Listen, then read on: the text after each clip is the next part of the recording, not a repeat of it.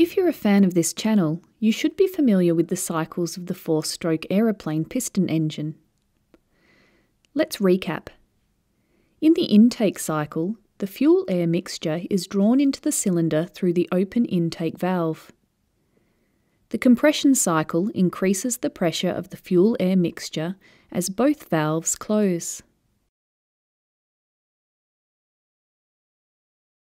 The power cycle pushes the piston down through the rapidly increasing pressure of the burning fuel air mixture. In the exhaust cycle, the burnt gases are forced out of the cylinder through the open exhaust valve.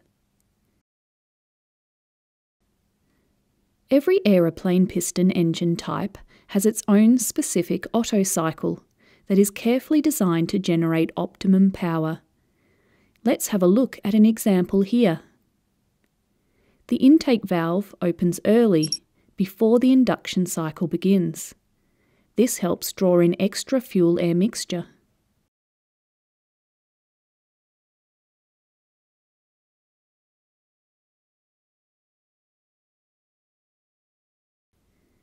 The intake valve closes after the induction cycle ends.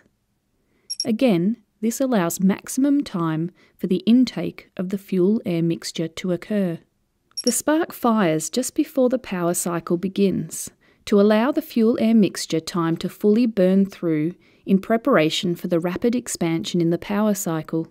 The exhaust valve opens before the exhaust cycle begins. The pressure is still high in the cylinder, so the burnt gases escape. This means that the piston has less work to do pushing out the gases.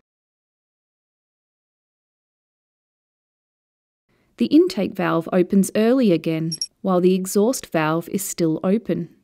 The exhaust valve closes, and so on.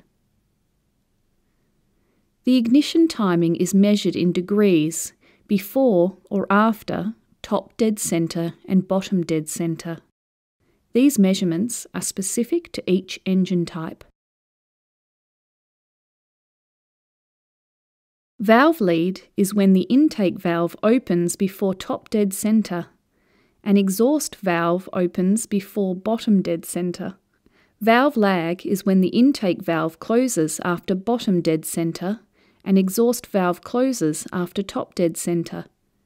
The brief period when both valves are open together is called the valve overlap.